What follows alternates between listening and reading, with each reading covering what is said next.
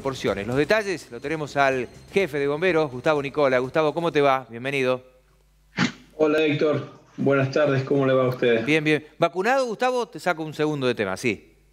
Sí, gracias a Dios tenemos el 100% del cuartel vacunado por un esfuerzo que ha hecho el municipio junto con el gobierno de la provincia de Córdoba y bueno, han vacunado todos los bomberos de nuestro cuartel y ya eh, a nivel provincial ya hay un 98-99% de bomberos vacunados. Lamentablemente hoy tuvimos la pérdida de un bombero de Santa Eufemia, un joven bombero de cuarenta y pico de años que falleció por COVID.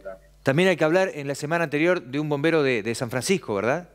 De San Francisco, sí. Lamentablemente. Y también otro, me olvidaba de otro bombero que ha fallecido en Villa del Totoral también por COVID.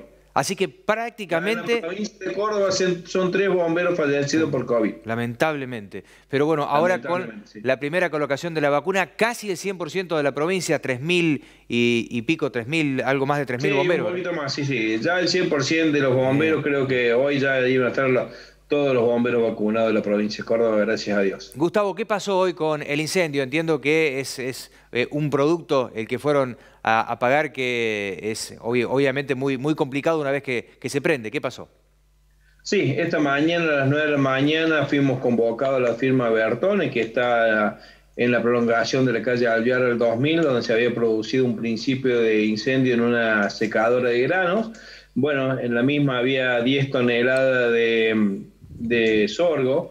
Y bueno, esto, este tipo de incendio no es de gran magnitud, pero de difícil trabajo. Primero que es en altura. Ah. Segundo que es un espacio confinado, porque adentro de la secadora no se puede ingresar. Hay que vaciar todo, eh, todo lo que tiene dentro de la secadora para que se esté extinguido el incendio al 100%. Entonces lleva mucha demanda de, de horas de trabajo no cantidad de bomberos, pero sí hay mucha demanda de, trabajo, ¿no? De horas de trabajo.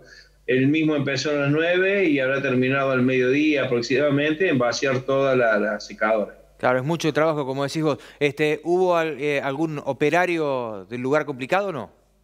No, no, no, no. Se pudo evitar la, la, propagación del incendio, no hubo heridos y bueno, una vez que ya se vació todo, todo el sector donde estaban los granos, porque no solamente que se quema, sino con el agua se apelmaza y bueno, y todo eso lleva mucho tiempo eh, en descargar toda la, esa noria y bueno, y cuesta, lleva mucho tiempo en, el trabajo de bombero. ¿Se sabe que... de gran magnitud el incendio. ¿Se sabe qué pasó, Gustavo?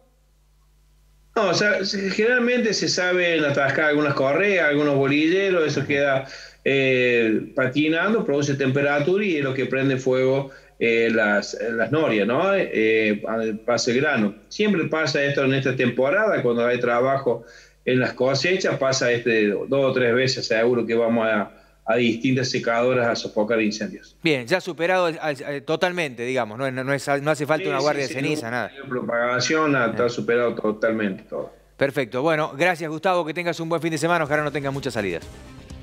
Estamos, Héctor, gracias a ustedes por estar siempre presentes, como les digo.